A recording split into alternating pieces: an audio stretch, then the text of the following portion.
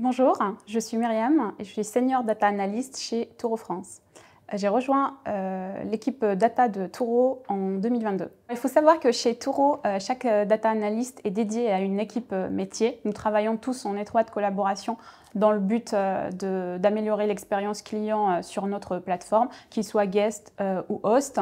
Cela implique souvent de collecter, préparer, euh, et euh, analyser les données afin de trouver des insights euh, précieux qui vont aider à la prise de décision. Mon rôle va au-delà de ça en faisant des recommandations. Récemment, j'ai travaillé sur le taux d'acceptation d'une nouvelle demande qui est une métrique très importante chez nous et qui est bien suivie côté host. Des décisions ont été immédiatement prises suite à cette analyse en prenant en compte mes recommandations.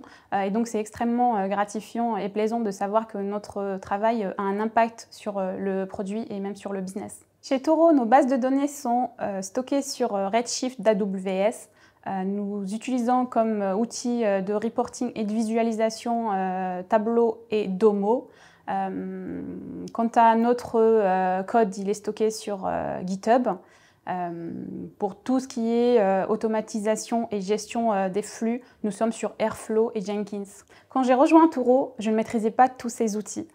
j'ai eu de la chance d'être accompagnée par une équipe extrêmement compétente, disponible et à l'écoute, euh, cela m'a permis euh, de monter en compétence rapidement sur tous ces outils et aujourd'hui je suis complètement autonome. Je recommande Toro à tous les profils, non seulement euh, les profils tech, parce que au-delà de l'ambiance conviviale qui règne au sein du bureau parisien, de la valorisation du travail de chacun, l'environnement de travail est très stimulant avec plein de possibilités d'évolution.